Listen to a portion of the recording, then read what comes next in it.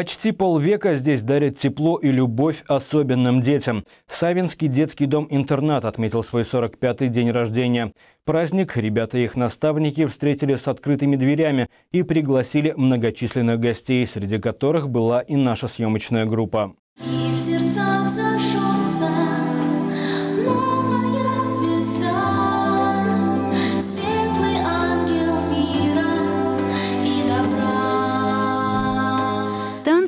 добрыми словами встречали гостей воспитанники Савинского детского дома-интерната. Сегодня здесь проживают почти 200 детей, примерно четверть из них – сироты. Организован детский дом в 1974 году, и уже 45 лет здесь помогают особенным детям.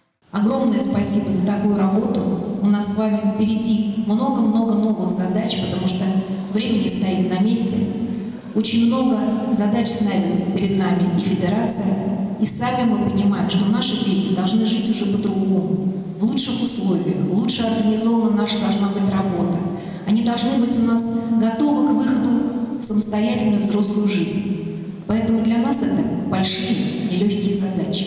Но я думаю, что с таким коллективом мы обязательно справимся.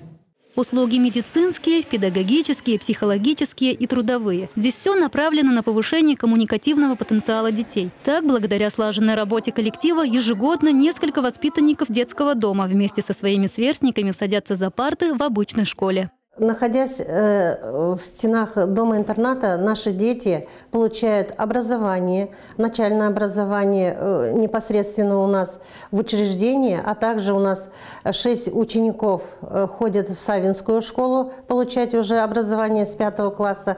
Затем шесть учеников у нас ходят в Семеновскую школу, это вот с 1 сентября уже с 2018 года.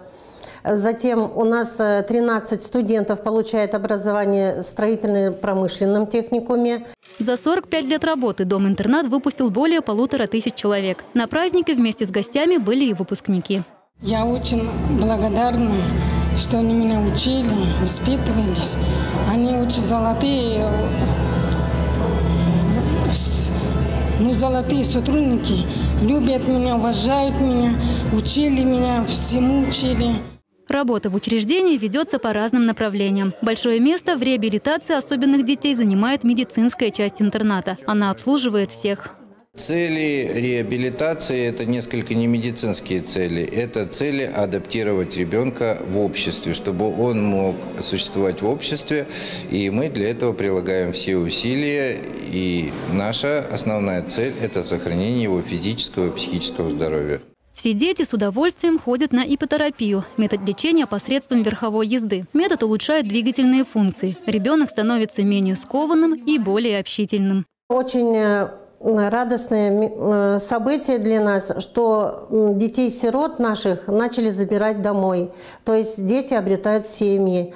И очень радует, что из числа наших сотрудников учреждения, вот уже за 2018 год, 9 э, наших сотрудников приняли в свою семью наших воспитанников. И это очень радует.